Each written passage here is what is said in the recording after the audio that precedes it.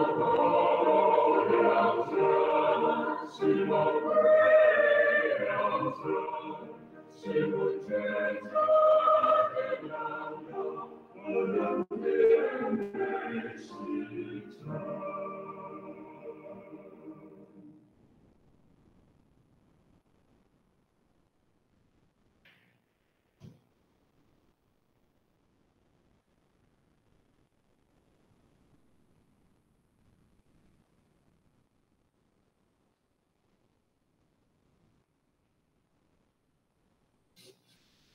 Hum.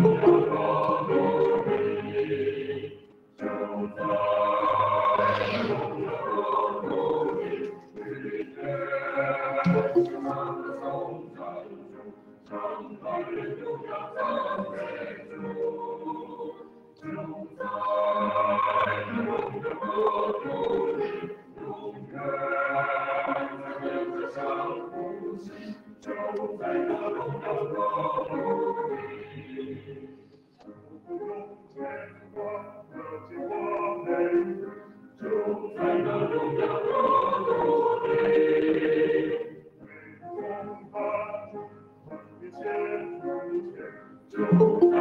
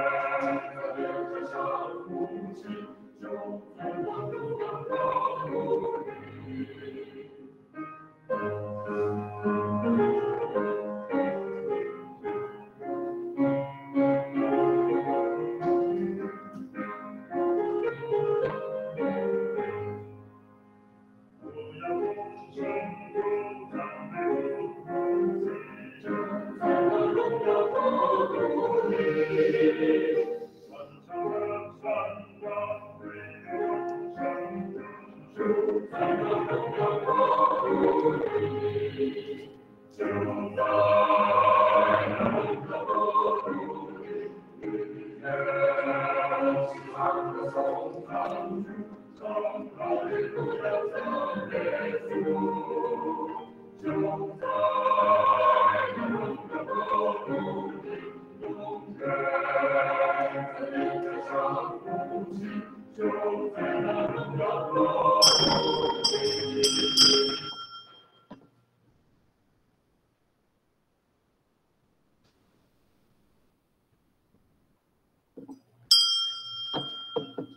好，大家预备心，一起同心默祷。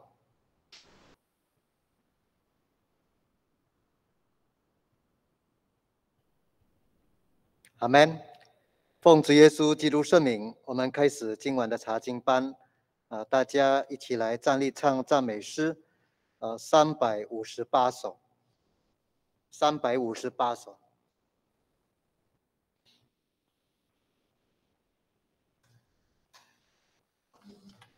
Bye.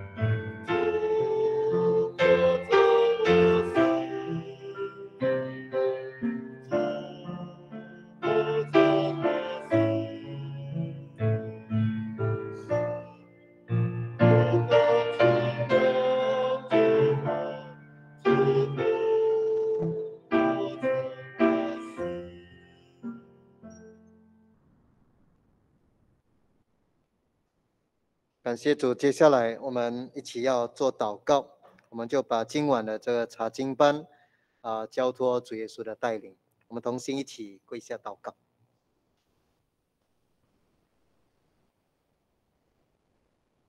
奉主耶稣基督圣名祷告，哈利路亚！赞美主耶稣，感谢你，哈利路亚，哈利路亚。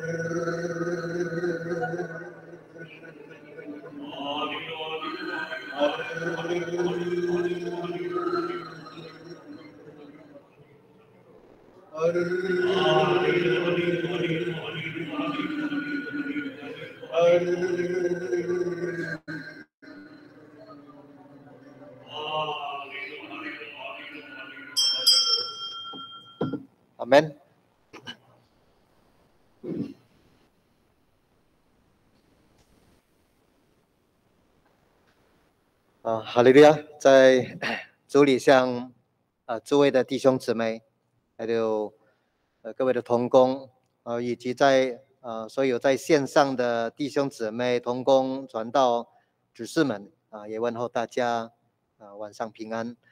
呃，感谢主，今晚我们继续查考约翰福音书啊，那是呃我们也是回到那个二章十三到二十五节啊，今晚我们进入。啊，这个洁净圣殿的第二部分了啊。那今晚会特别的从这个呃这一段里面哈，我们以三个方向来去做查考啊。那第一个呢，我们会谈到它的背景哦，主耶稣到了耶路撒冷的那一个背景，洁净圣殿的那个背景了哦。然后第二呢，我们就可以在啊学习的是主耶稣的那一个行动啊，他是怎么样接近圣殿哦，他的行动啊。那第三呢，我们就要查考的是说啊，那洁净圣殿的那一个结果，那个后来的结果啊，又发生什么事啊？那是今晚我们的啊查考的一个分段哈的一个方向。好，哎，那我们首先来看的是第一个，我们要看洁净圣殿的那个背景。那我们请看，呃，约翰福音书的二章十三、十四节啊。我们看约翰福音书二章十三、呃十四节、十三节。啊，犹太人的夜节近了，耶稣就上耶路撒冷去。十四节，牛。羊鸽子的啊，并有兑换引钱的人坐在那里啊，呃，这两节就是洁净圣殿的啊，先谈这个背景啊的背景啊，那呃之前已经跟大家谈过的是呃异业节了哈，因为洁净圣殿的第一部分，我们上个星期就啊已经谈过了这个异业节，就是呃约翰福音书里面呢那么多的异业节，这是第一个。啊，所以第一个的耶节，所以主耶稣就上啊耶路撒冷。那我们注意这一章节哦，你看十四节，那主耶稣到了耶路撒冷，就是要上圣殿嘛，哦，要上圣殿，所以他现在他看见店里呢，这个店里有什么呢？有啊卖三种牲畜了哈，卖牛、卖羊、卖鸽子的，哦，这是要卖的。啊，要卖的，呃，那要买呢？那你要买牛、买羊、买啊买鸽子呢？因为有人在卖嘛，哈，所以接下来就说有兑换引钱的人在那里，好，所以我我们就可以从这一节就说有买卖啊，有买卖。等一下我们就看到主耶稣他很生气啊，是有缘故的，好，所以我们就看到这里说十四节就看到。有人在卖，哦，卖什么？卖牛、卖卖羊、卖鸽子，三样哈，没有其他东西哈。呃，我们不要把圣经把它解说哦，还有还有卖水啦，还有卖糕饼啦，还有卖没有哈？这个是纯粹就是卖牛、羊、鸽子的啊。等下我们就看到，哎，为什么就是卖这个三样？哦，卖这三样。那然后有兑换银钱的人坐在那里，那那这样的一个买卖。啊，有没有问题？那我们就从这个洁净圣殿啊来去呃看，从这个就看先看一个背景啊，就是这样哦。好，那呃我们来看二章十三十四节的这个背景啊。刚才我们有提到，看见店里的有算是四样东西了啊，有三样东西是要卖的：牛、羊、鸽子。就是有看到有人在卖牛羊鸽子的，然后第四样的就是有有兑换引钱的人坐在那里了啊。好了，那呃问题就是说这样的买卖有没有问题啊？这个买卖有没有问题？那我我们也是要从圣经的来去做一个印证嘛哦。其实哈这里的卖牛羊鸽子呢是圣殿里面哈最好销。呃，销的最快的东西就是这个，也应该要卖这个，啊，为什么呢？因为如果我们看《生命记》啊，啊，《生命记》，我们来看《生命记》的十四章啊，我们看《生命记》十四章，十四章，呃，我们看二十二十四节啊，二十四节，《生命记》十四章二十四节。当耶和华你神赐福于你的时候，耶和华你神所选择的立为他名的那个地方，若离你太远，那路也太长，使你不能把这物带到哪里去。二十五，你就可以换成影子，把影子包起来，拿在手中，往耶和华你神所要选择的地方去。呃，二十六，你用这银子随心所欲，呃或。买牛羊或啊买清酒浓酒，凡你心所想的都可以买。你和你的家属在耶和华你神的面前吃喝快乐。好，我们就从这个部分呢，我们可以发现说，呃，当以色列人哈他们在守节上圣殿的时候呢，呃，去敬拜神。呃，因为有一些奉献之物嘛，哦，因为路途太远不方便带，那不方便带，那变成可以怎么样？换成银子，哦，换成银子，所以，呃，从这一个背景来看的话，呃，也就是说，你看二十六节啊，你用这银子随心所欲，或买牛羊，或买清酒浓酒，凡你心所想的都可以买。啊，那看来的话是说，从就业的观点哦，是容许的，就是说你可以拿钱啊到那边，就说按你你要买牛买羊啊，为了是要什么？其实是奉献嘛，献祭啊，因为当时人就是要要献祭，你必须要啊有这样的一个方式，这是方便给那些远方的啊，所以看来买卖。按照这样他们就业的这样个圣经的背景是，是可以的啦，哦，是可以的，哦，它是有，但是要注意哦，这个买卖是给你方便献祭的，给你方便献祭的，哦，不是，嗯，不不是开了什么 Shopee 啦、Lazada，然后这样这样乱卖了哈，不是了哈，这个是圣经正规定的话说，你要买这样子，为了你拿来。敬虔敬拜神啊，献祭用的啊，这样的一个仪式啊。我们再参考这个出埃及记的三十章。出埃及记看三十章，三十章。嗯，我们来看第十二节哈，这是也是关于奉献了哈，跟关于。要线上的那个数量啊，十二节，你要按以色列人被数的计算总数。你数的时候，你们个人要为自己的生命，把赎价奉给耶和华，免得数的时候在他们中间有灾殃。十三节，反过去归那个，呃，那些被数之人的，每人要按圣所的平拿银子半舍克勒。这半舍克勒是奉给耶和华的礼物啊，所以这样看来，圣殿有它的那个平啊，就是要呃测量多少呃钱的那一个用具哦，这样来平，按照什么你自己生命把暑假奉给耶和华哦，所以有它的那个暑假，呃。呃，如果你往下看的话，你就可以知道，哎，呃，他是，呃，你看二第十四节就说到什么呢？二十岁以外的啊，要将这个礼物奉给耶和华，哦，所以呃，要要去，呃，要去称啊，啊，要去量啊，所以你看十六节呢，你要从以色列人收这个赎罪银，啊，作为会幕的使用，所以他们要还那个赎罪银，哦。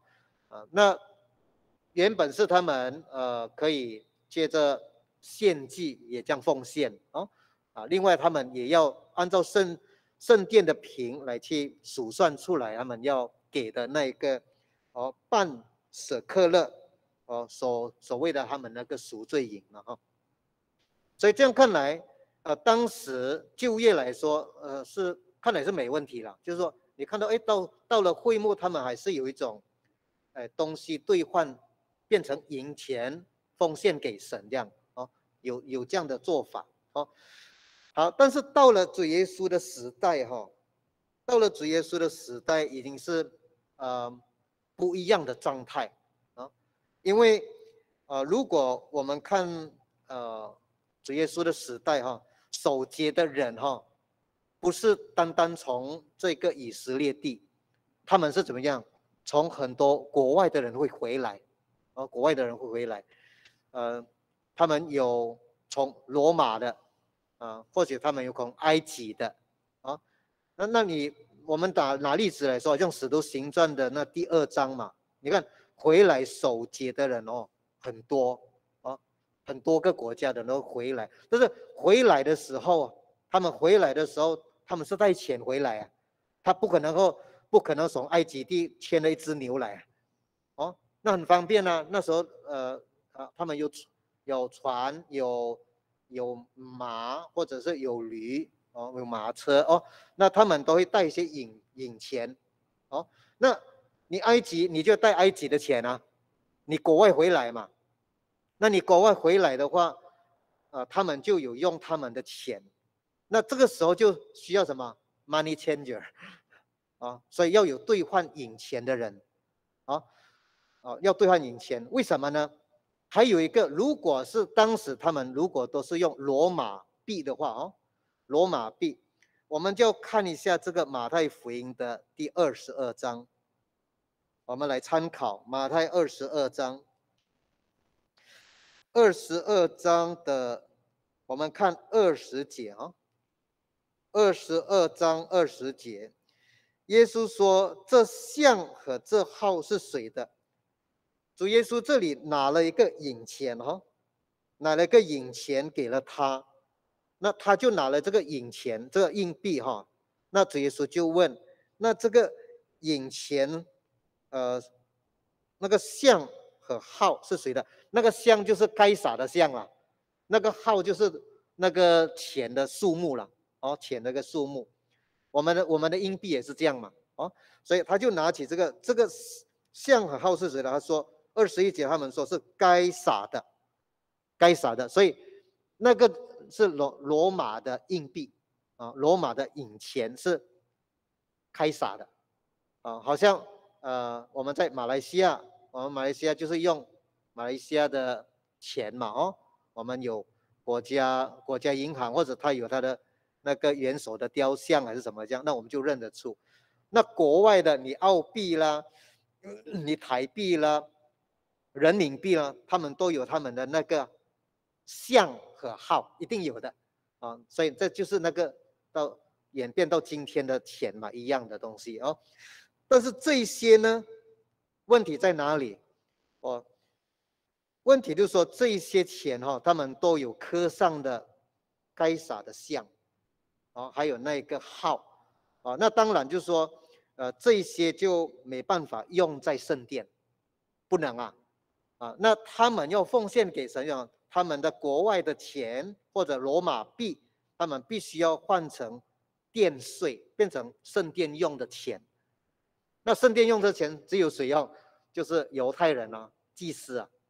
啊，祭司在圣殿里面的那些，那他他们要用这些钱，他们要收这个，啊，因为只有把这个当成是一个圣洁的，哦，不亵渎神的，这样来去做奉献。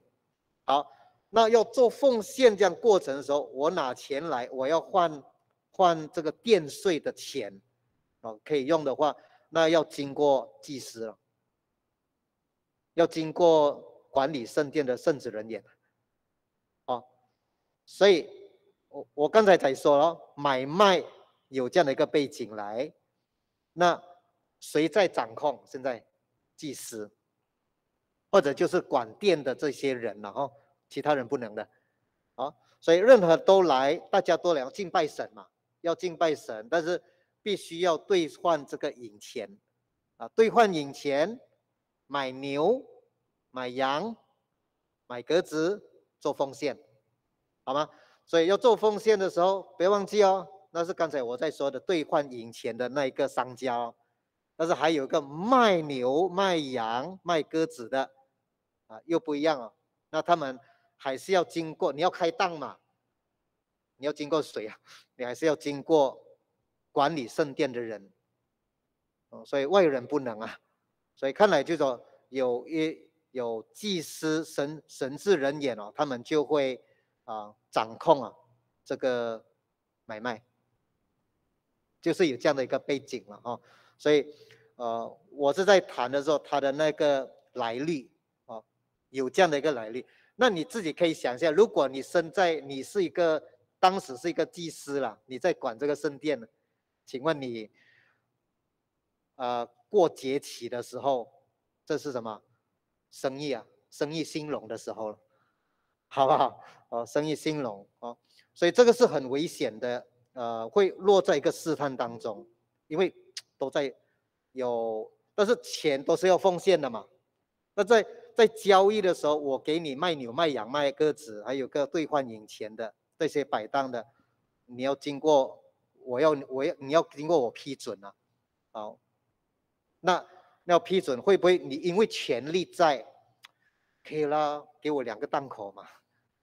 可以啊，那会不会有贿赂啦？会不会那个我不敢说。那这种会变成在做商家买卖的时候可能会有的一些哦。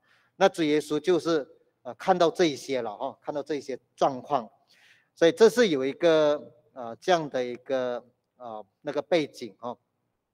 好，那我们接下来再看哈。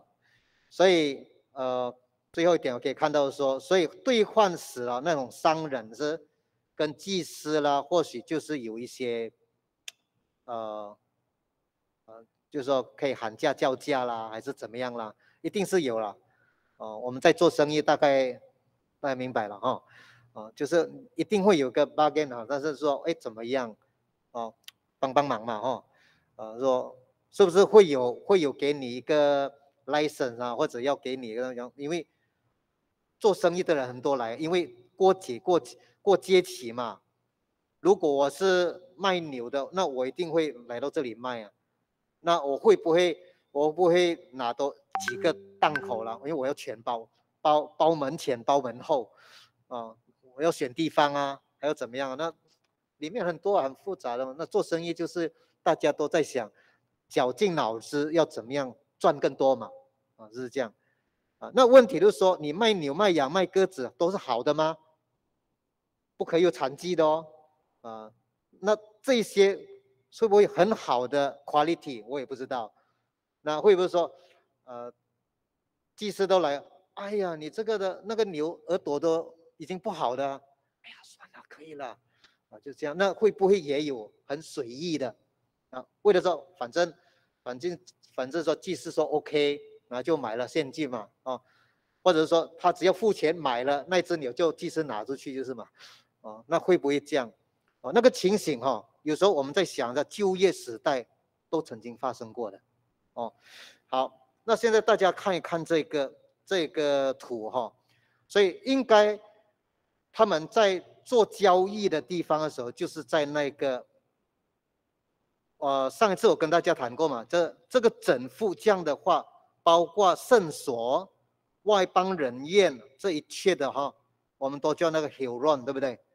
啊，上个星期我们讲了这个 Hill Run，整个的，整个包括自圣所、圣所都在内，啊，这个叫 Hill Run。所以主耶稣看到他们在呃买卖的是在整个场所，这个场所，那当然啊，绝对没办法进入到圣所里面去了，那是不能的，因为圣所已经是祭司要用的地方，献祭的地方，那应该是那个外邦人宴哈，啊，外面这一。这一带的地方，他们在做买卖，很宽啊，真的很宽，呃，所以，呃，如果给给你，给你大门的入口给你摆档，一定是很好生意的，哦，所以要进啊，因为全全国的，啊，犹太人哦，国外的犹太人都会回来守节，啊，大家就很有钱啊，我要买啊，买一只一只的，没有买买一只脚，买两只脚，买一只一只的。是啊，啊，一只羊就一只羊，一只牛就一只牛哈，哦，所以有规定的，那他们一定有，可能变成配套哦，要这样买。好了，那这个图就可以干嘛？所以应该哈，在那个做生意对方都是在那个外院，都在那个外院啊，或者在那个王室的那个猪廊那边哈，就是那个地方那一带哦。啊，因为已经告诉大家，主耶稣说以殿为他的身体，是个殿，是这一个殿，圣殿那 o s 哦，是里面的那一个。所以整个我们常说圣殿，圣殿哦，其实有个很重要的地方，就是这一个圣殿有圣所和至圣所的那一个，啊，那个最重要。因为为什么呢？呃，上个星期嘛，跟大家提过，在启示录的十一章，哦，我们看启示录的十一章。有说到这个地方嘛？你看哦，呃启示录第十一章的第一节，第一章第一节，呃十一章第一节哦，有一根苇子赐给我，当着亮度的杖，却有话说起来，将神的殿和坛，啊，并在殿中礼拜的人都量一量，看到吗？所以这里说有一根苇子要来量，要量就是要，呃，要测量啊，标准不标准啊？嗯，你达到标准吗？所以量什么呢？第一个，省的殿要量，这个省的殿要量就是那个拿 os，，啊，圣所和至圣所的那一个，然后这个要量，还有那个什么呢？那个坛，这个坛是那个坛，祷告的那个坛，献香烧香的坛。啊，烧香的坛，所以中文写那个祭坛，那个祭是应该没有的了。嗯，这个坛，因为在演义里面，这里是说那个烧香的坛，就是我们的祷告了。啊，那另外还有个说殿中礼拜的人，那些人也是要被量，所以以后要被量的标准的哦，神要救的人是在那个拿奥斯里面的那一个。哦，所以拿二十要量，那个殿要量，祷告要量。还有来敬拜神的人要量，啊，但是你看哦，第二节只是殿外的院子要留下来，不用量，因为这是给外邦人的，啊，他们要践踏圣城四十二个月。那二十以外的都不必量了，神也不要啊，免了，都不算了，不用了，啊，所以就变得说不用量，为什么呢？给外邦人的，给不信的。啊，所以第一节把一根苇子是给给了呃，把使徒约说给了我嘛，哦，所以好的留给仆人哦，那个外邦人让那不好的留给外邦，哦，神神也不要量了，他不要去量，啊，算了，他不要量，哦，要量的是这那奥里面的，所以这就是这个圣殿了哈，啊，但是。启示录所说的这个圣殿，其实不是这个相片那个，这个相片只是相片罢了，是物质的哦。这个是属灵的，神的殿是教会了哦，神的教会哦，所以是属神的啊 的家了哦。好，那这个是另外一个外院哦，外院的一个方一个地方，也在卖鸽子啊、卖牛啊、卖兑换银钱的，就在这个广场哦。好。现在我们进入说第二，我们看二章十五到十七节，回到约翰二章十五一直到十七节，啊，这个是主耶稣的行动，啊，我们来看主耶稣怎么样接近圣殿的那个行动啊。好，二章十五节，耶稣就拿绳子做成鞭子，把牛羊都赶出殿去。到处兑换引钱之人的银钱，推翻他们的坐子。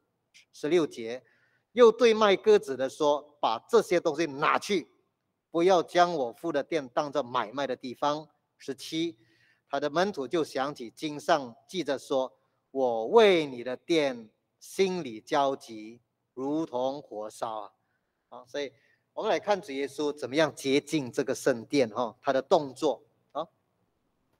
他那个动作，呃，我们可以发现说，呃，到了这个呃洁净圣殿的行动的这个部分呢，其实要告诉我们，耶稣这样做是米赛亚来的，他是一个米赛亚啊，所以要应验圣经所说的，他是那个米赛亚来，就是要做这个东西啊，要洁净圣殿啊。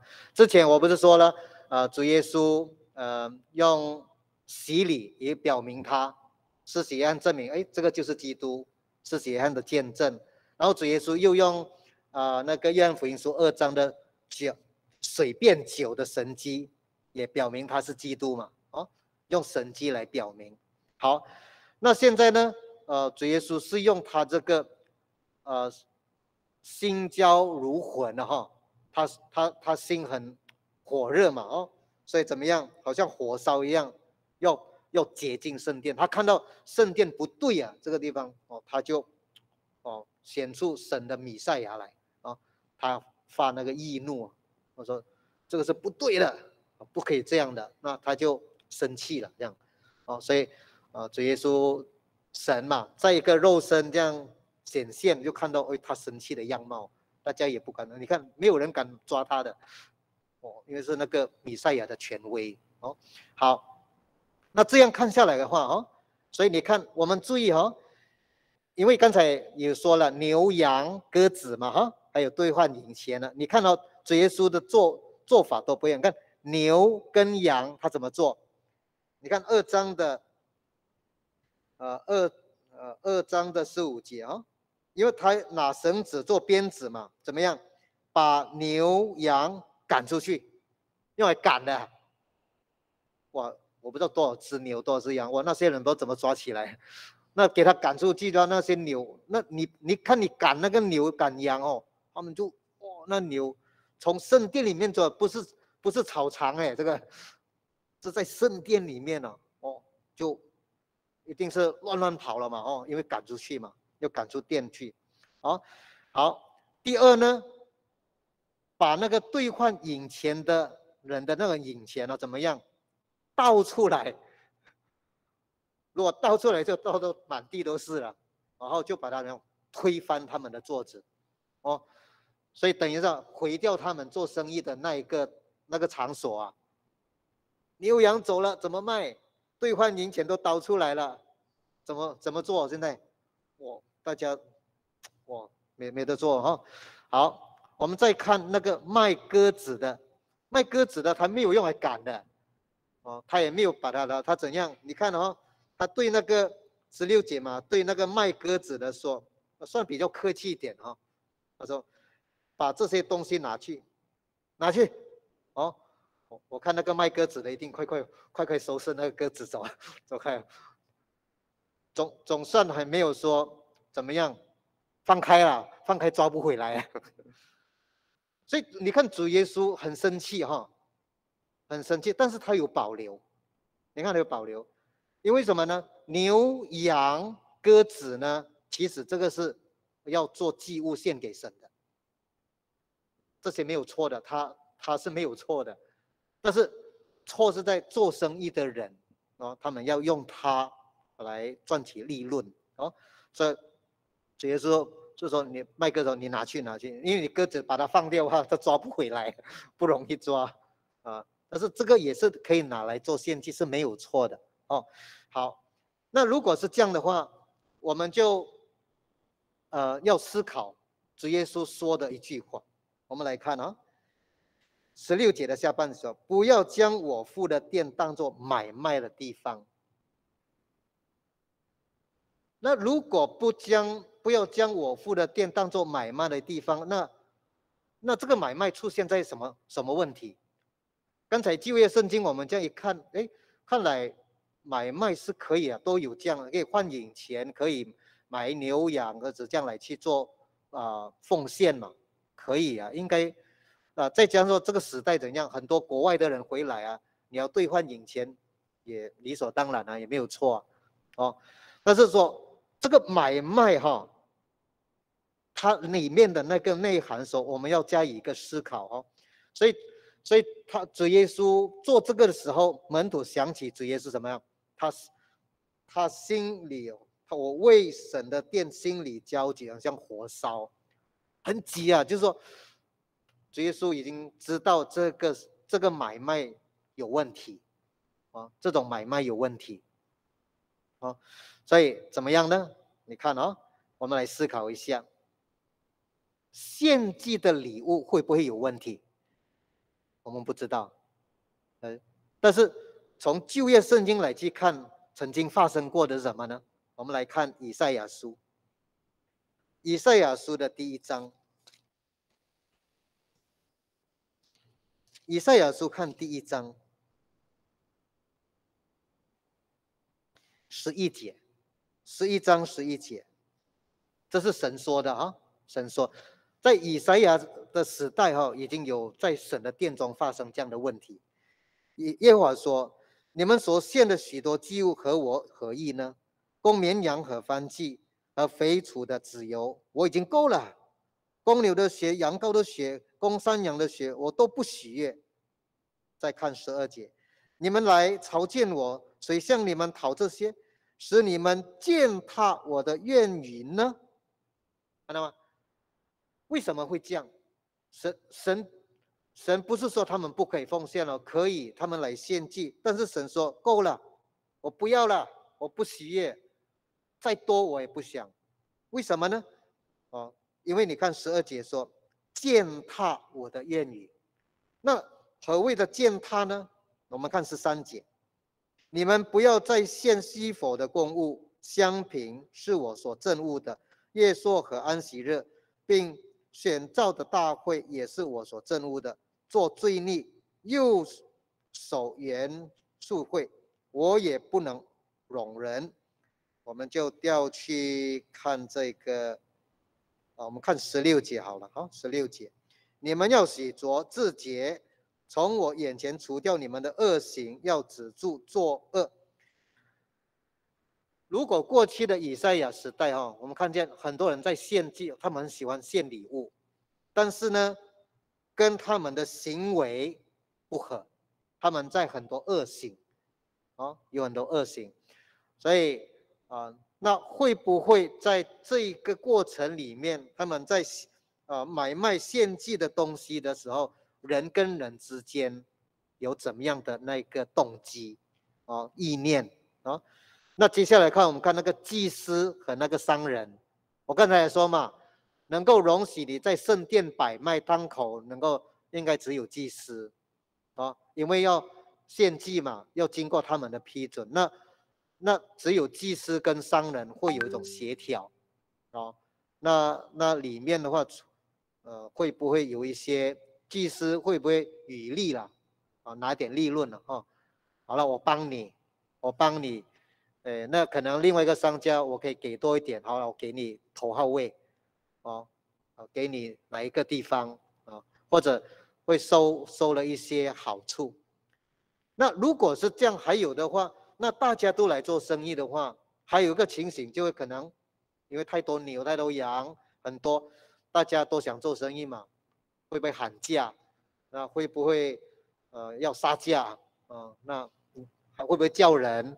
啊，因为你要想做生意，来来来来来，啊，买一送一，买二送 还是怎么样？哈，不晓得。但是说一定会有点吵杂声，声音啊，啊，那问题就是说，圣经告诉我们，当来到神的殿的时候，应该是怎么样？安静的，安静的。所以那个买卖并不是大问题哈，但是这个买卖里面的时候就有一些可能不法的手段，啊，会有一些让人失去金钱的那个问题，哦，那是影响。那另外还有一个我们在想到说，啊，在这种买卖的过程会不会造成，好像保罗在说的，我们可以做思考一下。我们看哥林多前书第六章。哥林多前书六章，我们看第五节，六章五节，并那坏了心术、世上真理之人的真经，他们以金钱为得利的门路，呃，这个是很危险的地方。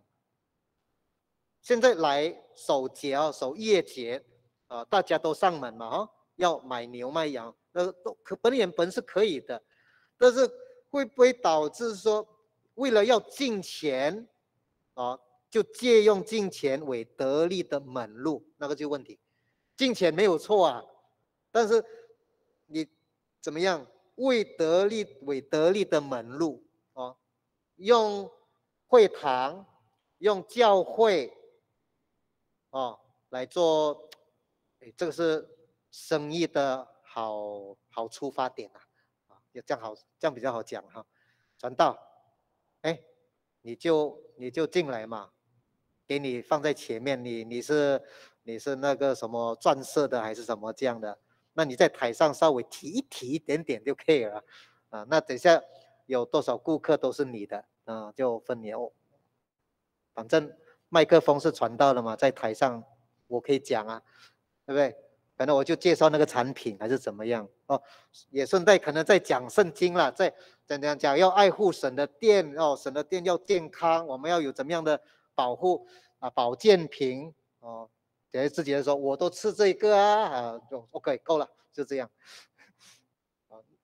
那台下的弟兄怎么样？哎，传道谢谢你，他就可以开始啊做一些动作了嘛。你看传道刚才都说他吃了，你看他哇多好，那多健康啊，呃多活泼啊，哦就变成那个传道人也变成一个买卖的一个啊善用品了啊，是这样，可以的，传道要这样做也可以，但是就变成金钱为得利的门路，那个问题在那里？哦，那基督徒可以做买卖？买卖是没问题啊，你可以啊。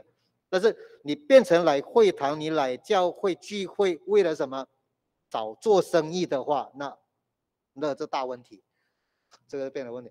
哎，你你来聚会什么？你来聚会是要要敬拜神以灵，诚实来敬拜真理来敬拜嘛？哦，你看你为哦，你在问你为什么呃安息日那么勤劳去？散了会可以找找人做生意啊？哦，那个你你来的动机已经不对了，你来的动机已经不对了。哦，或许你刚才的最后一个祷告，你就说主啊主啊，呃，你让我等下遇见了好几个顾客，哦，散会然后有了几个顾客，那我就阿门，你就愿愿神祝福你的这样，所以这个要很小心了哈。所以主耶稣要洁净圣殿哦。你把那个圣殿是当成是什么？所以主耶稣就说一句话嘛。我们再回到啊，约翰的第二章啊，约翰第二章的十六节，二章十六节还记得吗？哦，这个主耶稣说的，不要将我父的殿当做买卖的地方。这个十六节的殿，我父的殿，我曾曾经把它又翻成什么？应该是家。为什么把我父？就是说是我父爸爸的家就是我的家，因为我是他的子啊。你为什么让我爸爸的家变成买卖的地方？我爸爸家是拿来敬拜神的，哦，你现在来做买卖已经动机不对了，就这样，所以直接说把那个圣殿是他家来的，你弄印脏我的家，所以我要洁净圣殿了，我的啊，所以直接说是我父的家。哦，所以这样你你我们这样来做思考，那以后哈，在对观福音里面还有谈到马太、马太、马可、路加，主耶稣第二次洁净圣殿嘛，哦更惨了，所以说那时候骂的更厉害，为什么呢？我们来做参考一下啊，你看马太二十一章，马太二十一章。马太二十一章的十三节，二十一章我们看十三节，对他们说：“经上记着说，我的殿必称为祷告的殿，你们倒使它成为贼窝了。”会不会更严重？两年后了，我要说，如果是两年后这三两年后的夜节，主耶稣在最后一次上圣殿嘛？哦，那是第二次解禁圣殿，主耶稣把他。骂他们什么呢？我的殿被称为祷告的殿来的，那你们现在变成什么？变成贼窝了哦，不是不是买卖的地方了，所以更严重哦，那情形更严重。所以主耶稣解禁圣殿的第一次，看来那些人还没有悔改啊，很硬心啊，哦，所以主耶稣一直很多神迹、很多恩典，他们看到他们还不能接受，不不会敬畏神，所以第二次的洁净圣殿啊。主耶稣已经把他们，你们把它看成像贼窝一样，更更严重啊！贼贼贼窝什么？贼住的地方啊！父的家变成贼窝，现在，哦，所以主耶稣在前面的时候，第一次解释，不要把我父的店当做买卖的地方，还算 OK 的，哦，因为已经不对的动机啊，不对的行为。但是到了主耶稣第二次洁净圣殿了，你看都更坏啊，变成贼窝哦，所以那个严重性啊，所以主耶稣有第二次的洁净圣殿。好了，这个是呃关于主耶稣的行动哦。好，我们看二章的十八，二章十八到二十二节这个部分啊，我们看后果啊，洁净圣殿以后的那个后果啊，十八节。我们看十八节，因此犹太人问他说：“你既做这些事，还选什么神迹给我们看呢？”十九，耶稣回答说：“你们拆毁这个殿，我三日内要再建立起来。二十，犹太人便说：这殿是四十六年才造成的，你三日内就在建立起来吗？二十一，但耶稣这话是以他的身体为殿，所以到他从死里复活以后，门徒就想起他说这个话，便信了圣经和耶稣所说的。我们来看这个后果是怎么样。后果是犹太人控告耶稣，哦，怎么控告？你看刚才的十八节嘛，犹太人在有问耶稣：“你做了这个事，就是你这样哈，呃，会呃把牛羊赶出去了，哦，你又把这些兑换银钱的人啊的那些钱呢，把它倒出来推翻了，啊，你又叫那些呃卖鸽子的啊拿走，啊，都拿走了。”你做这个这样啊，你还有什么神迹给我们看？那这个表现什么？你做这个事，你你那么勇敢解进这个圣殿，你这样做的话，但是稍微他们也有点怕了，因为什么？没有人敢这样，但是他敢，哦，所以说有那个权威嘛，那是神嘛，哦，但是他就在诶，他一个外表这样的动作，他们也会稍微会那个诶。有点像米赛亚的动作，哦，因为他突然间出现了，跟圣经一样样啊，突然间来解禁圣殿。他们看到这样，哎，这个动作，他们也不敢说抓他嘛。其实只是这样做，他们要抓也可以啊，不敢啊，但是只敢问了。但是心里有时说，有点像米赛亚，那怎么样？那如果你这样做的挑战耶稣说，你还有什么神迹给我看？意思说你在行神迹的话。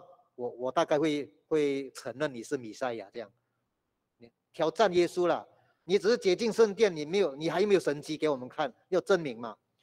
耶稣直接怎么回答呢？你看哦，耶稣回答说：“我你们拆毁这个殿，我三日内要再建立起来。”主耶稣在说神迹啊，哦，你们要看神迹是呢？可以，你拆毁这个殿。我三日之内要把它建立起来，我这个神迹很厉害呢，三天了哈。所以犹太人便便回答说：“这个殿是四十六年才造成的呢，四十六年就主前二十年嘛啊，主前二十年虚立的，这是虚立的殿嘛，开始建造。上个星期有给大家主主前的十九年，他就开始要动工。那到了主耶稣这个时。”时候讲话的这个跟犹太人讲话的时候，已经是，啊，已经是怎么样？就是这个殿哦，已经是在四十六年才造成的，到已经四十六年了，意思说，从主前二十年到现在已经四十六年，就是当时的主耶稣就是主后的二十二十六，哦，就这样哦，所以，呃，你怎么会三日建立起来啊？虚力都用四十六年都还没有建好。你三天了，哇，那那他就被挑战了哦。但是主耶稣这个话是什么呢？是指他的身体来说的，哦，所以身身体来说，主耶稣要从死里复活。这三天是指着主耶稣从死里复活，不是那一个物质界的那个电了，不是。所以主耶稣在回答的是那个神机，你要看神机是呢，但是这个神机不是这个。主耶稣是借用了这个电，其实是指他身体，因为刚才圣经和呃主耶稣说这话是指着他的电来说的，他身体，啊有解释了哦，所以我们就知道哦，是指着主耶稣从死里复活的，所以这是神机呀，神机。如果我们把它看成是主耶稣复活是一个神机的话，那呃那意思是什么呢？那意思说。呃，那个，呃，我们要看马太福音啊，我们来看这个马太福音的十二章，就跟这个符合了啊。马太福音看十二章三十八节吗？十二章三十八节，同样的问题，同样的问题，但是这是文士法利赛人在问的嘛啊？十二章三十八节。当时有几个文士和法利赛人对耶稣说：“夫子，我们愿意你显个神迹给我们看，一样嘛？啊，刚才那个是挑战，你还有什么神迹给我们看？啊，这里又不一样哦，呃，是文士跟法利赛人比较客气一点了哈，不止你你我们愿意你显个神迹给我们看，就求他这样了。你看哦，文士、法利赛人、犹太人一直在求什么？求神迹。难道主耶稣没有神迹吗？很多啊，神迹太多了，但是主耶稣行了太多神迹，还是不信。他是把耶稣的神迹看成是一个魔术罢了，哦，没有用啊，这样，这这样没有对他们没有造就。其实我们从约翰福音书看到主耶稣行神迹是为了什么呢？让我们能够相信是他，他是神的儿子，是基督，对不对？但是没有效啊，哦，我们再看这个马太十七章，马太的十七章，十七章。我们看二呃二十二二十三节啊，二十二二十三节，他们还在加利的时候，耶稣对门徒说：“人子将要被交在人手里。”二十三，他们要杀害他，第三日要复活，门徒就大大的忧愁。所以这里说三日他要复活，哦，三日他要复活。那如果这个是很明显的说三日要复活。那就跟刚才的马太十二章你对一下哈，十二章的那一个是四十节，四十节，月哪三日三夜在大雨堵腹中，人子也要这样三日三夜在地里头，啊，这是指这什么呢？主耶稣要死了啊，在啊第三日哦，好像月哪一样，三日三夜在雨腹中一样，然后就。吐出来，活过来这样了啊！耶稣是用约拿的这个在女腹三日三夜是一个神机啊。请问哈，如果你被大雨吞进肚子里面去，三日三夜从哪里出来？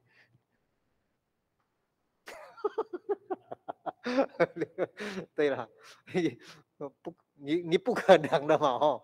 你你在你在雨腹中怎么活着？但是也是神在保守他，因为他是先知嘛。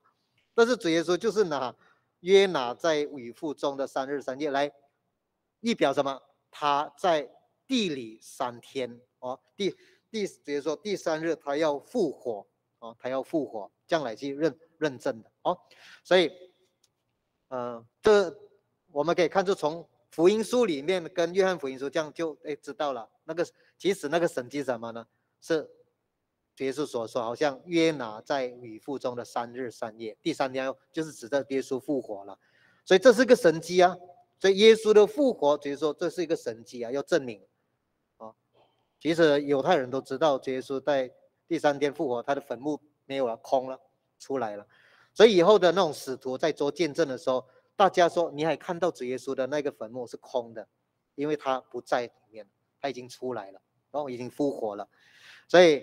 呃，这个呃犹太人哈没办法接受主耶稣的呃，但是被挑战，那主耶稣就用这个跟他们说，说还有个更大的神迹你要看到哦。好了，我们接下来哈，所以呃以后哈主主耶稣被犹太人控告，其实还有一点就是这个，因为主耶稣说过他三日要复活嘛哦，你看马太的二十六章。马太二十六章六十一节，六十一节，这个人曾说：“我能拆毁神的殿，三日内又建造起来。”哦，所以有人在控告耶稣，主耶稣被抓拿的时候被公会审判嘛？哦，你看马太二十六章六十一节，这个人曾说：“我能拆毁神的殿，三日内又建造起来。”这个在哪里记载？就在刚才了，约翰呢？对不对？约翰福音书刚才啊，这也是自己说的。后来这句话拿来怎么样？在在这个公会里面成为一个控告，控告。比如说主耶稣说他要拆掉圣殿，就是怎么样？好像亵渎圣殿，哦，好像弄坏圣殿，哦，就是有罪名的意思了。但是主耶稣说的不是这个殿啊，主耶稣说的是他的身体，对不对？哦，所以他们。把耶稣抓来打啦，打来杀啦，那等于是他弄坏这个圣殿，其实是他们在弄坏。所以直接说：“你们拆毁这个殿，你把耶稣拆毁了，我三日之内我再回来。哦，是指着他复活的意思了。哦，但是当时他们不懂，哦，他们不懂。所以，我们再回到这个约翰，你看二章嘛，二章二十一到二十二节，尤其是二十二节了。你看说，门徒，呃，后来怎么样？大家想起这个话来了，因为什么？当主耶稣从死里复活以后，他们就想起来了，所以他们就相信了。这句话是添上去的了啊。那当时门徒应该还不知道，后来因为这个约翰福音是后来在写的嘛，哎，在写的时候，哎，就补上就是说，主耶稣复活以后，他们才想起主耶稣说的这个话，原来是指着他的身体来说的，啊，就应验了。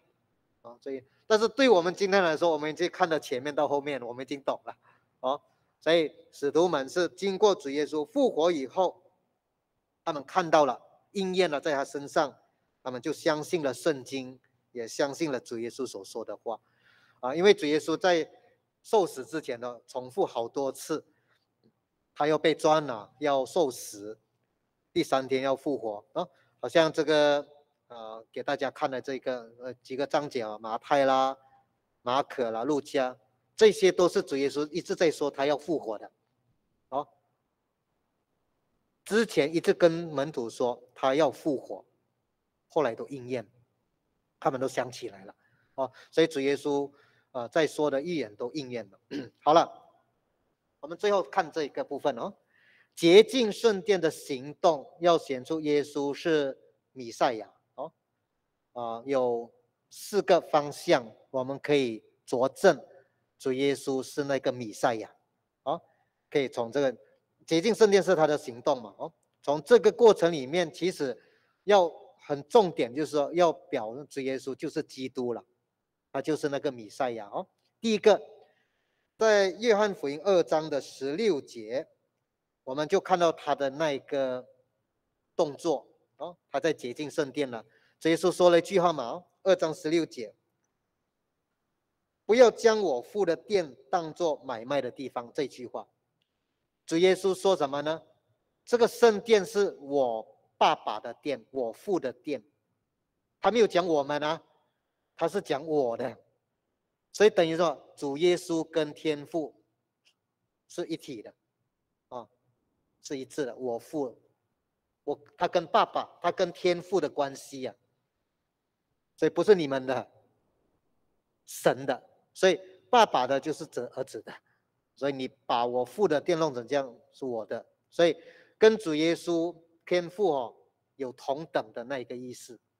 好，你我们再看五章，你看五章是气节，五章是气节，这句话也是很敏感的，所以犹太人很不喜欢这句话。哦，你看啊，五章是七节。耶稣就对他们说：“我父做事，直到如今我也做事，看到吗？天父做事，我也做事，做事是一样啊，看到吗？做事是一样。所以你看哦，接下来就有解释说，所以犹太人越发想要杀耶稣，因他不但犯了安息日，并且称神为他的父，将自己和神当作平等。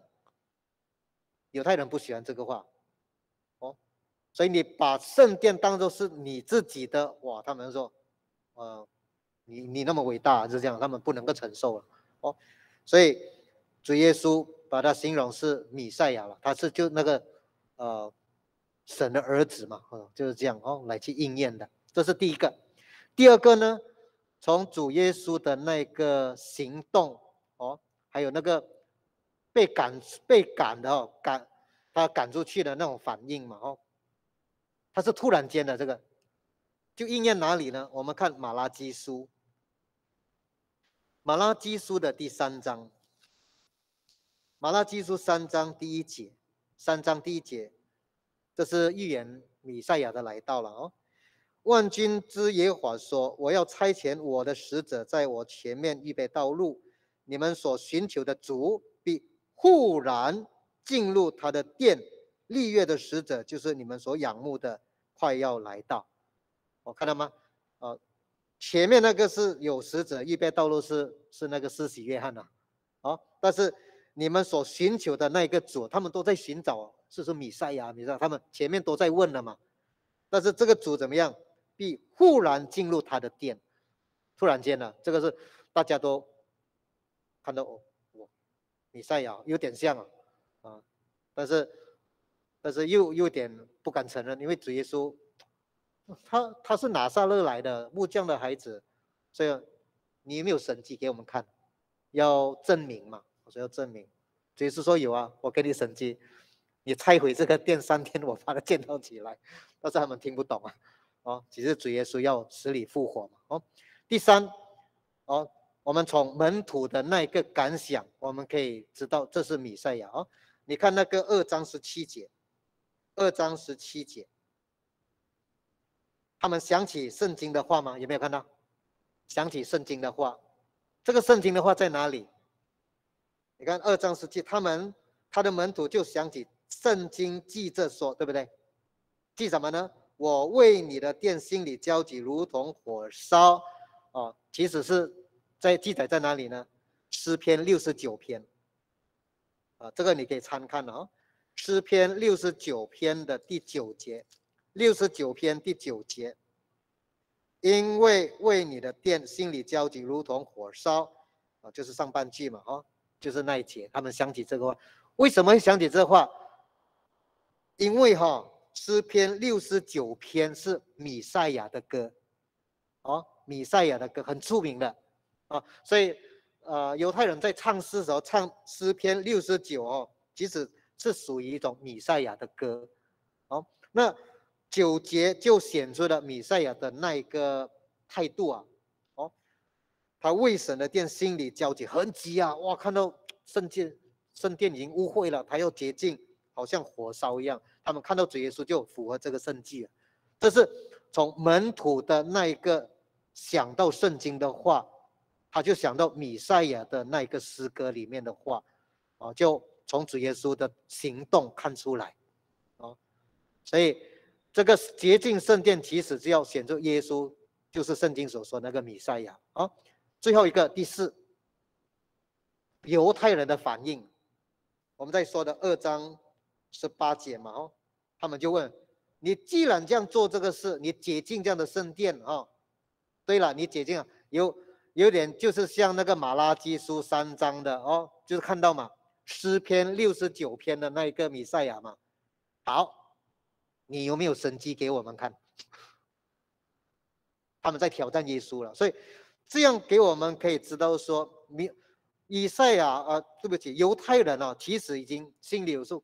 看到基督了，但是不承认、否认啊、推翻啊，所以啊，他们不肯相信啊。虽然有很多神迹了，但是不能。好了，所以最后你看啊，最后一个部分了，总结啊，这个二章的二十三到二十五节，我们看二章二十三、二十五节。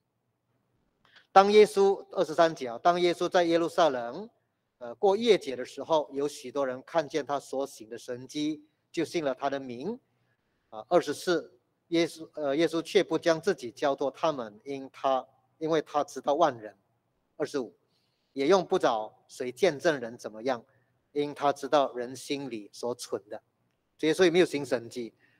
有，这里说主耶稣有许多人看见他所行的神迹，还有很多，不是不是三天复活的那一个。那个是他要预言以后的大神迹，但是你看他在耶路撒冷里面过夜节的时候，他有许请了许多，所以是有的，但是没有记载嘛，哦，没有记载在，那他们就信了他的名，也有信的了，但是这个信的话，呃，没有一百八仙的哈，哦，所以接下来你看哦，二十四节，信不过，上上半段不是说吗？他们看这神迹就信了他的名，有没有？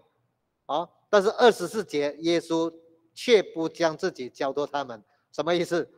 主耶稣不信任他们，他们那个信啊，哈，是半信半疑啊，有神迹就相信，没有神迹后又不信，这样哦，会疑惑啊，所以我就说，你不能靠神迹保住你信心，是要看到基督，看到神的道理才能够保住。神迹到处都看得到的，有时候。那别人会行的神迹更大，你又说他是耶稣吗？不能啊，所以还是要真理。所以犹犹太人只是看神迹，但是你看二十主耶稣都不将自己交托他们，为什么呢？他知道万人。你看二十五节，看他知道万人哦，也用不找谁见证怎么样？因他知道人心里所存的。好，所以从这一段我们可以看到主耶稣是怎么样，他是知道万人，他他万人他都知道，这是宽度了，他知道所有的人，啊，知道人的心是深度，从里哦，从外到里面，主耶稣都知道。虽然他们说相信了哦，但是主耶稣没有交托给他们。主耶稣，客话讲信过了。虽然他们很相信，但是主耶稣也信不过他们，因为主耶稣知道他们心是不是真正的相信啊。所以这是主耶稣的那个神性哈，他知道万人的心，无所不知，全知的神，这也是基督哦。所以这是主耶稣的本身。好，那。已经表明说，主耶稣就是天上的那位神了。要知道万人的心，所以他不要，他不需要人跟他做见证，他行很多神迹，他也他也不需要人跟他见证他什么，哦，只有他天赋跟他同在，神迹就是他的见证，所以这是呃大概啊这个呃二章的结束了哦，行了神迹很多，然后紧接下来以后的三章啊给大家看哦，三章一到十节就开始。尼哥底母了，哦，尼哥底母就来了，啊，因为看到他的神迹，看到神迹，暗暗的来找耶稣问了，啊，来问耶稣，这个不错，这个尼哥底母的人不错，为什么呢？看到他来找找真理，所以主耶稣跟他讲真理，主耶稣跟他讲要不要进天国，要，要怎么做啊？那那我们是这个在下个星期的时候，我们就要进入了这个三章了啊。所以三章我们就会啊讨论这个，主耶稣说你们必须重生的道理，啊就开始重要的一些论述了。好，这是今晚啊跟大家呃结束了这个第二章，我们下个星期就开始约翰第三章了。好，演结束帮助大家。好，我们呃现在做一个结束，我们来一起祷告啊，感谢重新跪下祷告。